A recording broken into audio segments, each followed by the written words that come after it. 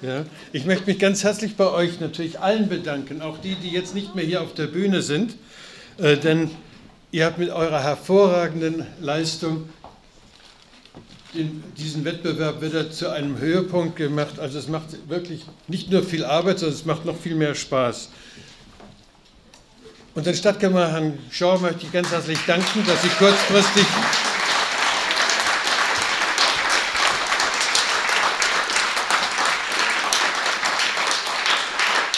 eingestiegen sind, unseren, unser Mitglied und unseren Schirmherrn Bürgermeister Schor zu vertreten.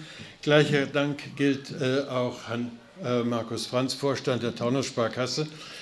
Ich sagte vorhin, oder sagen, es wurde vorhin schon auch erwähnt, ohne diese Förderung der Taunus-Sparkasse wäre dieser Wettbewerb auf diesem Niveau, in dieser Größenordnung unmöglich. Also da gebührt äh, der Taunus-Sparkasse stellvertretend durch Herrn Franz ein ganz, ganz herzliches Dankeschön.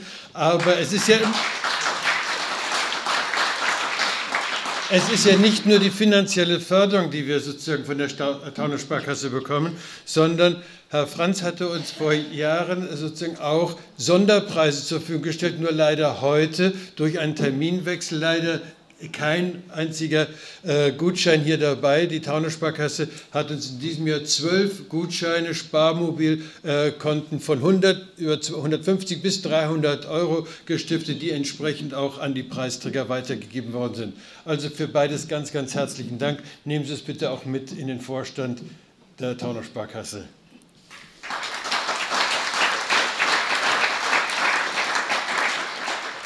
Ich, ich sage nicht mehr viel über sozusagen das, was äh, unsere Arbeit bedeutet, nämlich die Arbeit an der Generation für morgen, die unsere Gesellschaft sozusagen lenken und leiten wird, die eines Tages dann Herrn Shaw sozusagen hier aus dem Rathaus vertreiben wird und sozusagen selber das Ruder in die Hand nimmt. Und Sie haben schon von mehreren Berufeneren gehört, in äh, welcher Qualität sozusagen die charakterliche, geistige Entwicklung der Jugend, wenn sie sich mit der Musik auseinandersetzt, egal ob Solo, Duo oder in einem Ensemble. Wir brauchen Unterstützung. Äh, nicht nur finanziell, indem Sie sozusagen den Spendenkasten dort entsprechend füllen, worauf ich Sie äh, gerne bitten will.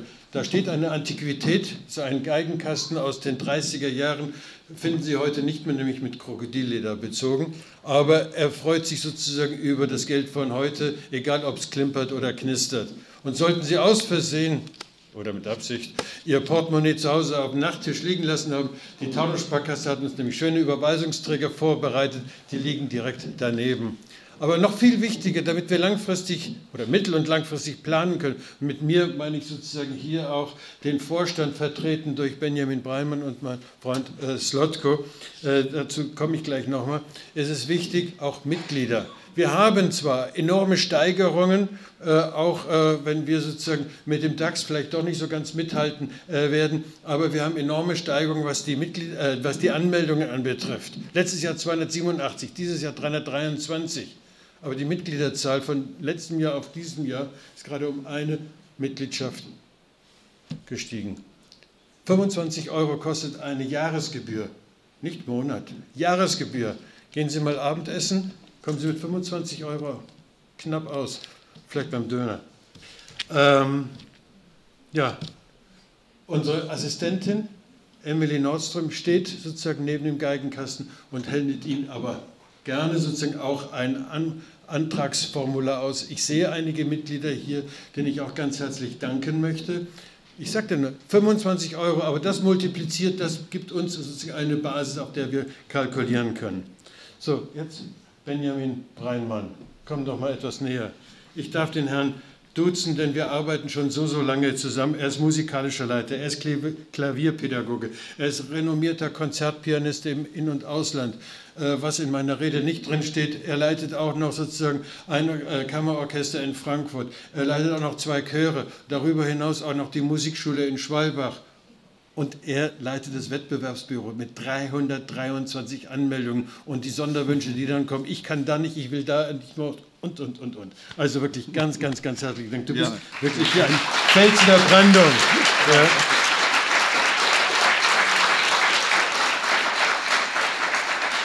Ehrenamtliche Arbeit äh, schafft uns sozusagen auch die Möglichkeit, diesen Wettbewerb so zu gestalten. Da drüben versteckt sich in der dritten Reihe mit dem schwarzen Hemd, steht doch mal kurz auf, bitte Sven Slotko, Vorstandsmitglied.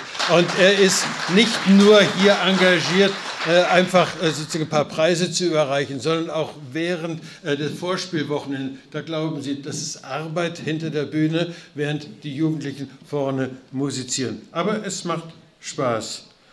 Und Ganz herzlich möchte ich auch bedanken den Damen und Herren aus der Aumühlenresidenz. Sie wissen wahrscheinlich gar nicht warum.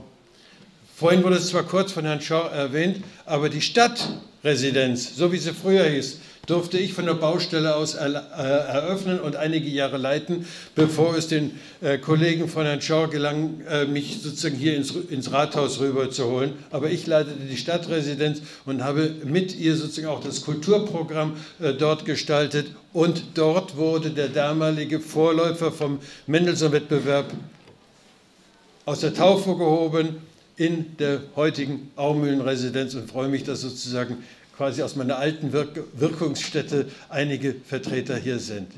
Besten Dank, kommen Sie gut nach Hause und entschuldigen Sie, dass wir, oje, oje, ich schaue lieber nicht auf die Uhr, unser Zeitlimit doch erheblich überschritten haben.